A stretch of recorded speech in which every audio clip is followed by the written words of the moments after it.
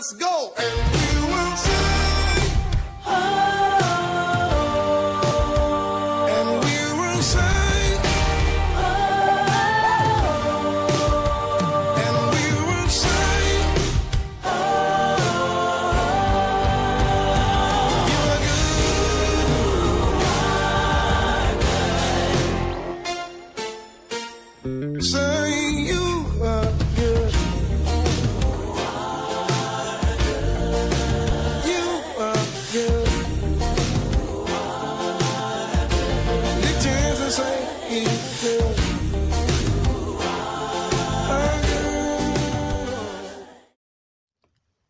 Hello, have you heard about the ever willing Jesus? That is Jesus Christ of Nazareth. This is your Life-Buoy today, and your Life-Buoy today is always all about the ever willing Jesus because he wants you close to him. Today is Sunday, the 22nd day of January 2023, the third Sunday after Epiphany in the calendar year of the church.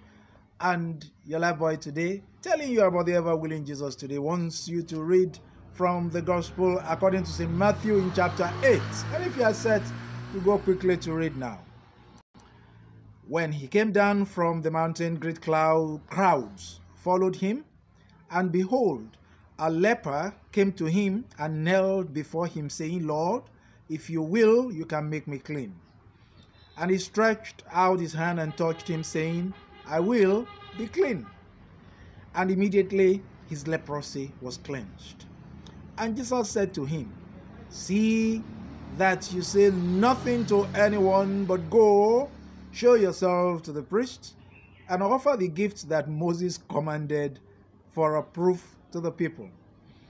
As he entered Capernaum, a centurion came forward to him, beseeching him and saying, Lord, my servant is lying paralyzed at home in terrible distress.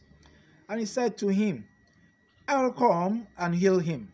But the centurion answered him, Lord, I am not worthy to have you come under my roof, but only say the word, and my servant will be healed. For I am a man under authority with soldiers under me, and I say to one, Go, and he goes, and to another, Come, and he comes, and to my slave, Do this, and he does it. When Jesus heard him, he marveled, and said to those who followed him, Truly I say to you, not even in Israel have I found such faith. I tell you, many will come from east and west and sit at table with Abraham, Isaac, and Jacob in the kingdom of heaven. While the sons of the kingdom will be thrown into the outer darkness, there men will weep and gnash their teeth. And to the centurion, Jesus said, Go, be it done to you as you have believed. And the servant was healed at that very moment. This is the gospel of Christ. Praise to Christ our Lord, who is ever willing to do good. He was anointed and he went about doing good. You'll find that in the Acts of the Apostles in chapter 10, I believe is, is verse 38. And that's the ever willing Jesus for you.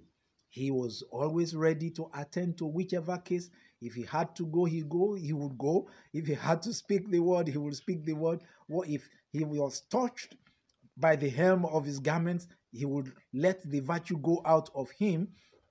For some, he would bend down to uh, roll some mud and you know put it on the eye that needed to be healed, and it will be healed. For some, it will say, "Go and wash." Uh, in a, a, a, particular river and your leprosy will be completely clean. But there was always something that he was ever willing to do. That's Jesus for you. So it's left for you now. Are you also willing to latch onto that Jesus? Are you willing to bring your problems onto him? What is that problem that you have? Is it personal to you?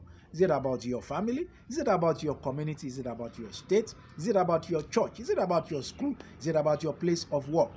The ever willing Jesus is ready to touch any situation, whether personal or corporate, and to heal such situations and to bring you out of distress into a life that is glorious unto his name and for your own enjoyment. So Why waste time? So let me send an invitation to you if you yet do not know that Jesus, because at his name, all knees bow.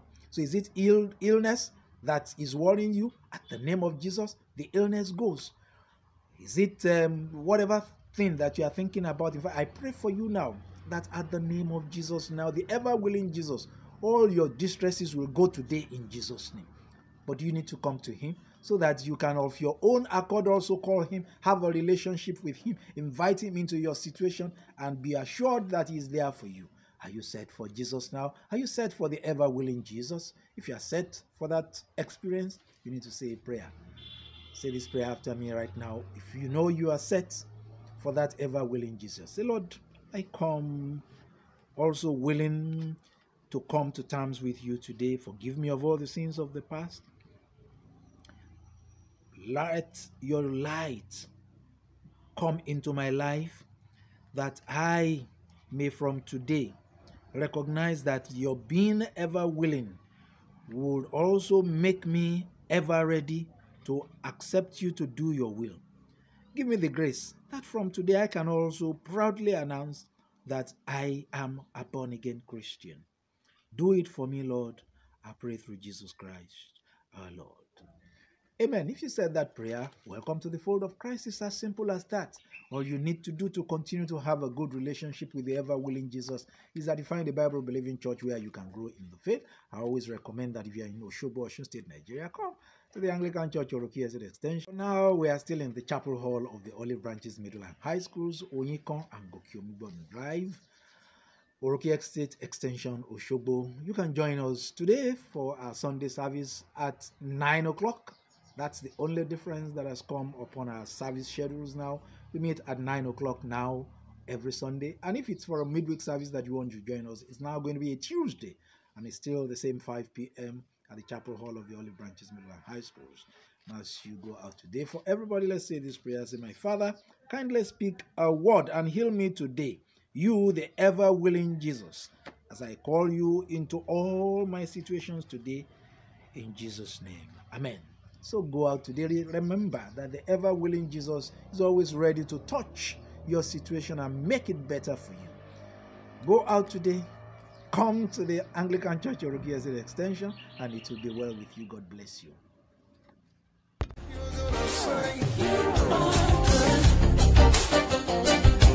I joy you faithful. I call you faithful.